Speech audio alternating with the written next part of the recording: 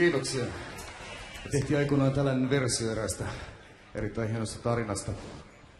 Se juonto kuului siihen aikoinaan jo näin, että elä tapsa reilusti, elä vaikka päivä vähemmän.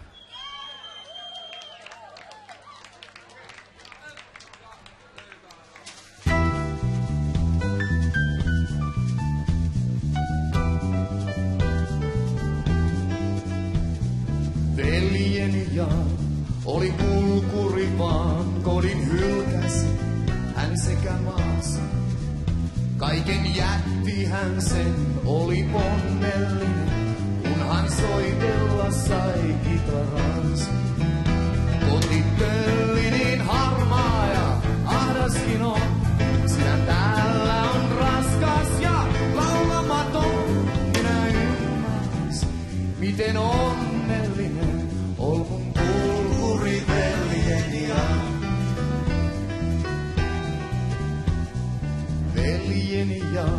tahtoi tanssia vaan siellä maantiellä tanssi on työ.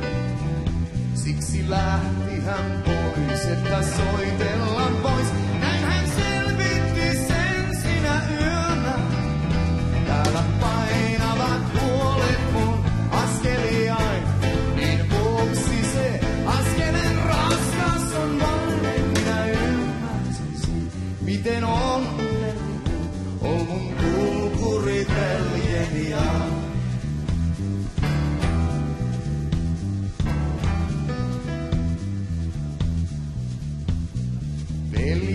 Ja ilo luonteellaan tytöt hurmasi täällä ja tuo.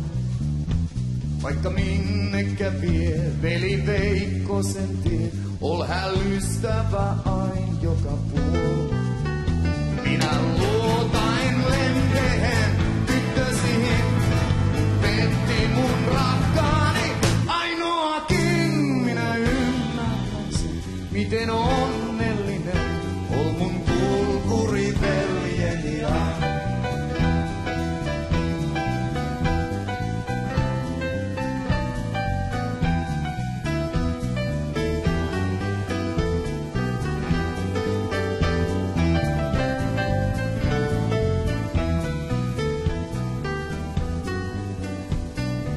Veljeni Jaan palas vihdoinkin vaan, oli vuodet jo uurteita luo.